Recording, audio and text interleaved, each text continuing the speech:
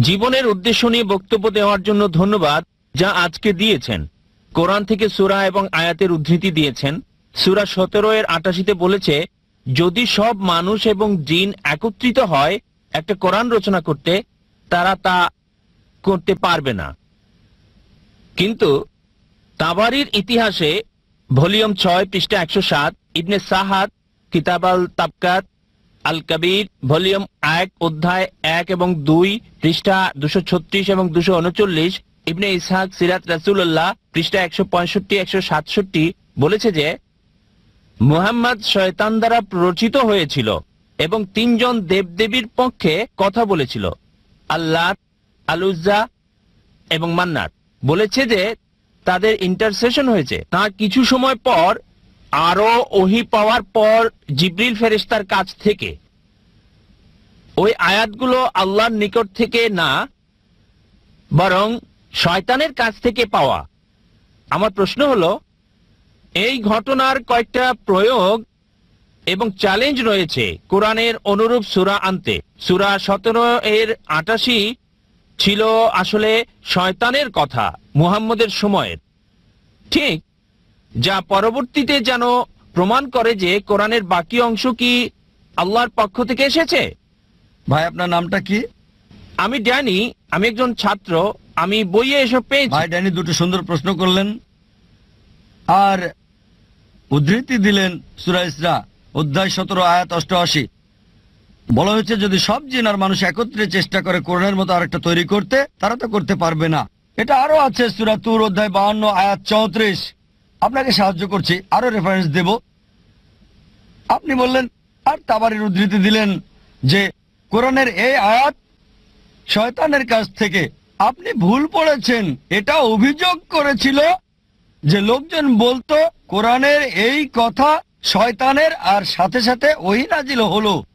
সুরা ওয়াকিয়া, অধ্যায় ছাপান্ন সাতাত্তর এবং আশি, বলা হয়েছে যে, এই কিতাব ভালোভাবে সুরক্ষিত কেউ তাকে স্পর্শ করতে পারবে না একমাত্র পবিত্র ছাড়া।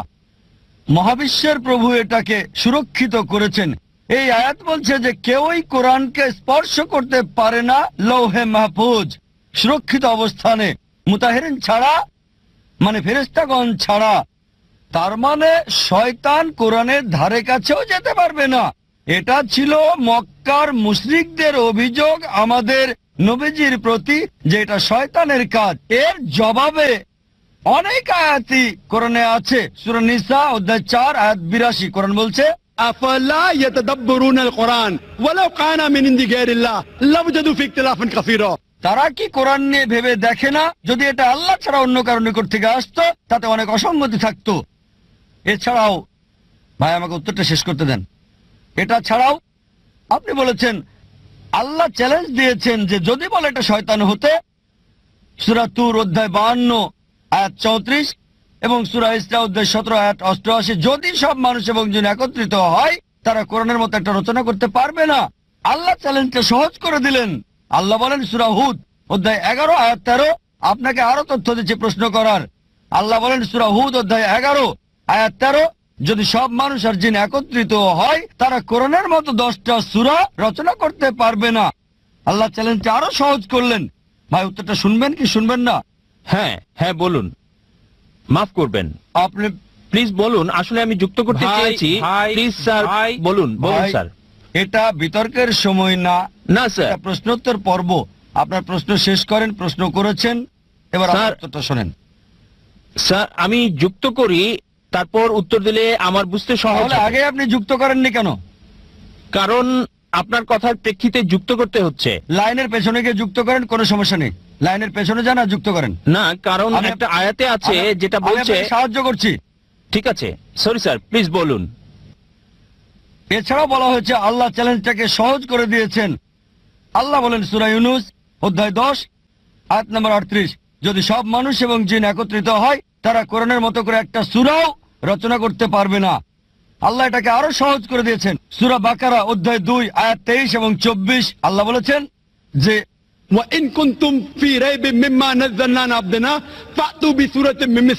যদি তোমরা সন্দেহ করো, যা আমি আমার বান্দা নবী মোহাম্মদের উপর নাজিল করেছি সময়ে সময়ে, তাহলে একটা সুরা রচনা করো, কিছুটা অনুরূপ মিসলি। একই রকম না, কিছুটা অনুরূপ। من مثلي وادعوا شهداءكم من دون الله ان كنتم صادقين আর সাহায্যের জন্য ডাকো এবং সাক্ষী রাখো আল্লাহ ছাড়া যে কাউকে যদি তোমরা সত্যবাদী হও فان لم تفعلوا আর যদি তা না পারো ولن تفعلوا নিশ্চিত যে তোমরা তা পারবে না فاتقوا النار التي وقودها الناس والحجاره اعدت الكافرين তাহলে ভয় করো সে আগুনকে যার জ্বালানি হবে মানুষ এবং পাথর যা সত্য প্রত্যাখ্যানকারীদের জন্য প্রস্তুত করা হয়েছে এটা চ্যালেঞ্জ একটা সব সময়ের জন্য চ্যালেঞ্জ অনেকে চেষ্টা করেছে কোরআনের মতো সুরা রচনা করতে, আর তারা চরমভাবে ব্যর্থ হয়েছে। কোরআনের ভাষা ছিল আল্লাহর পক্ষ হতে, আর পবিত্র, লোকে চেষ্টা করে পারেনি। কোরআন নাজিলের সময় আরবি ছিল সেরা ভাষা। সর্বোচ্চ অবস্থানে ছিল আরবরা তাদের ভাষা নিয়ে গর্ব করত। আল্লাহ বলেন, তোমাদের ভাষা দিয়েই এই কোরআন নাজিল করেছি। চেষ্টা করে একটা সূরা রচনা করো, কিছুটা এমন, পুরোপুরি না, কিছু সূরা আছে, একটা সুরার তিনটা আয়াত বড় জোর দশটা শব্দ। অনেকে চেষ্টা করেছে, চরমভাবে ব্যর্থ হয়েছে। যদি মনে করেন এটা আল্লাহ ছাড়া অন্য কারও কাছ থেকে, চেষ্টা করেন একটা সুরা রচনা করতে, এটা চ্যালেঞ্জ কখনোই কেউ পারে নাই, আপনিও পারবেন না।